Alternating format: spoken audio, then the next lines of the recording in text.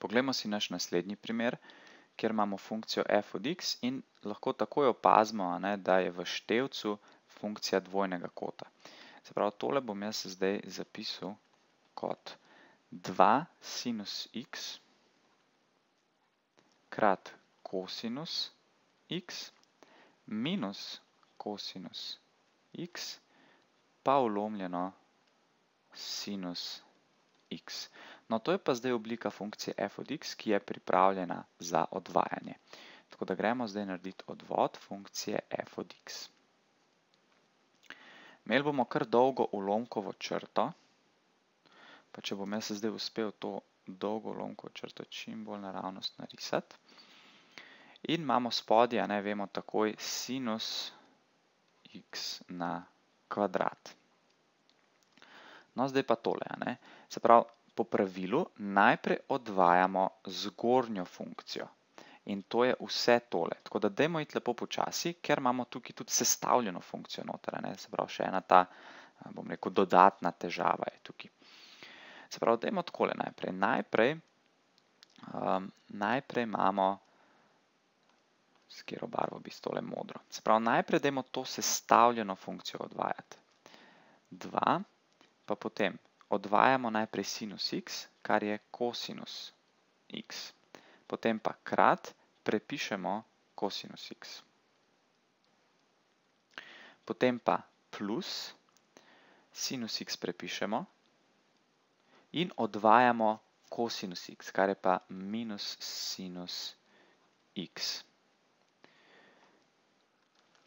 To smo zdaj odvajali, to sestavljeno funkcijo. Ampak moramo pa odvajati še tole, ne. Se pravi tole, minus kosinus x, odvod od kosinus x-a je minus sinus x, torej bomo imeli plus sinus x. In kaj zdaj to pomeni? To zdaj pomeni, da smo mi odvajali šele tole, a ne, samo tole smo zdaj odvajali. Tako da dajmo to, a ne, zdaj v, kako bi dal zdaj tole, da bo res pregledno.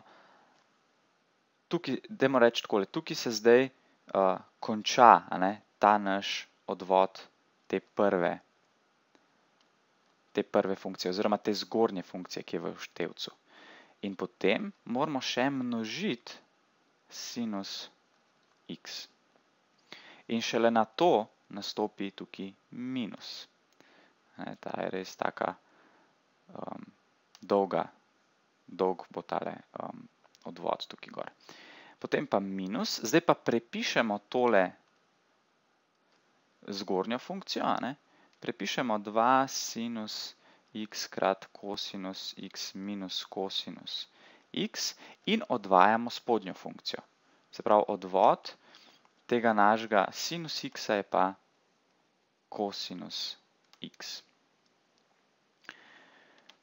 No, in kaj moramo narediti zdaj? Zdaj je treba jasno, ta števec je treba malo poračunati. In kaj dobimo? Najprej predlagam, da poračunamo malo tale del. Se pravi, kaj dobimo? Dobimo kosinus krat kosinus x, to je kosinus kvadrat x. Pa še tale dvojka je 2 kosinus kvadrat x.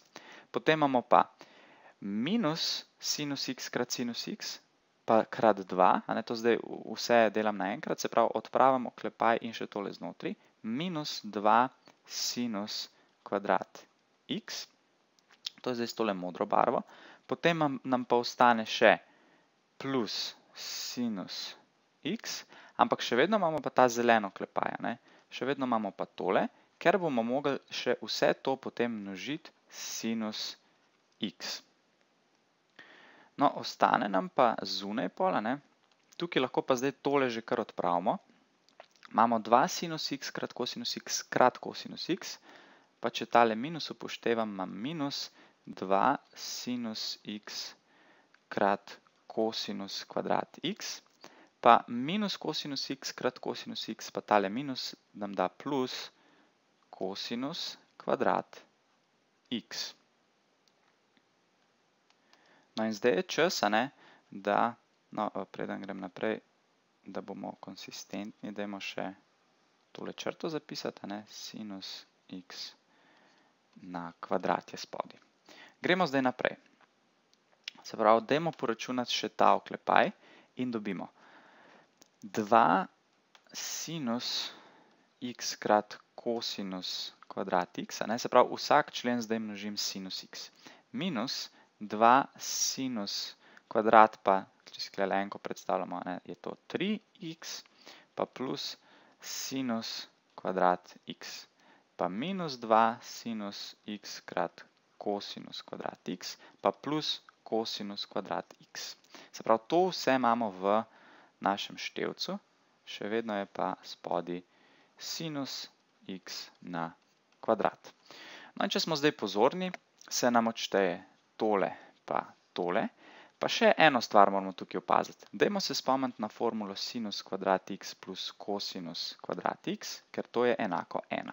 In tukaj nastopa sinus kvadrat x, kosinus kvadrat x. Se pravi, tole skupaj nam da 1, tako da je potem naš končni rezultat odvod funkcije f od x je minus 2 sinus na 3x plus 1 ulomljeno sinus kvadrat x.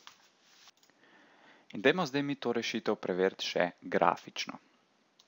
Se pravi, na začetku imamo tole funkcijo sinus 2x minus kosinus x ulomljeno sinus x in graf zgleda takole. Potem pa vprašamo program, kakšen je odvod te funkcije. No, in program nam nariše eno novo funkcijo, to je zdaj ta črna funkcija, ki je odvod te naše prvotne funkcije f od x. No in če hočemo mi preveriti našo rešitev, moramo pa upisati našo funkcijo, ki smo jo dobili, se pravi, y je tole, a ne, in če se sklada s tisto prvo, smo mi naredili pravilno. A ne, in jaz vam res svetujem, da uporabljate ta program za preizkus rešitve.